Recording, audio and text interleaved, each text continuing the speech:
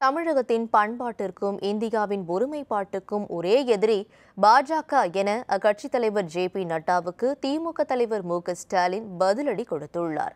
திமுக தலைவர் ஸ்டாலின் வெளியிட்டுள்ள அறிக்கையில் ஆட்சி அதிகார ஆணவத்தில் காஷ்மீர் முதல் கன்னியாகுமரி வரை ஜனநாயகத்தை சிறைப்படுத்தி வரும் பாஜக தமிழ் பண்பாட்டுக்கும் இந்திய ஒருமைப்பாட்டுக்கும் ஒரே எதிரி என விமர்சித்துள்ளார்.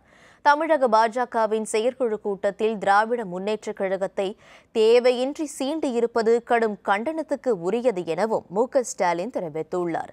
மு க ஸ்டாலினை முதலமைச்சராக விட மாட்டோம் என தனிப்பட்ட முறையில் முரளிதர் ராவ் பேசியதை சுட்டிக்காட்டியுள்ள ஸ்டாலின் காஷ்மீர் முதல் கன்னியாகுமரி வரை ஜனநாயகத்தை சிறைப்படுத்தி வரும் பாஜக தமிழ்நாட்டில் தங்களுக்கு தலையாட்டும் பொம்மையாக அதிமுக அரசு இருப்பதால் அதன் முதுகில் ஏறிக்கொண்டு திமுகவை நோக்கி தேவையற்ற விமர்சனங்களை வைப்பதாகவும் மு க ஸ்டாலின் குற்றம் சாட்டியுள்ளார்.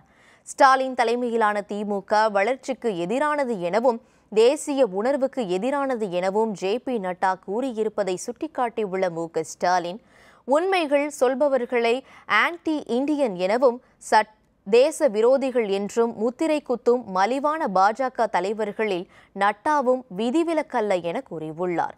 ஹிந்தி மற்றும் சமஸ்கிருத திணிப்பு ஹிந்தி தெரியாதவர்கள் வெளியேறுங்கள் என விரட்டுவது என தமிழ்நாட்டுக்கு எதிராக செயல்படும் பாஜகவை கேள்வி கேட்கும் போது திமுக வளர்ச்சிக்கு எதிரான கட்சி என்று குற்றம் சாட்டுவது பாஜக இயலாமையை காட்டுவதாகவும் ஸ்டாலின் தெரிவித்துள்ளார்.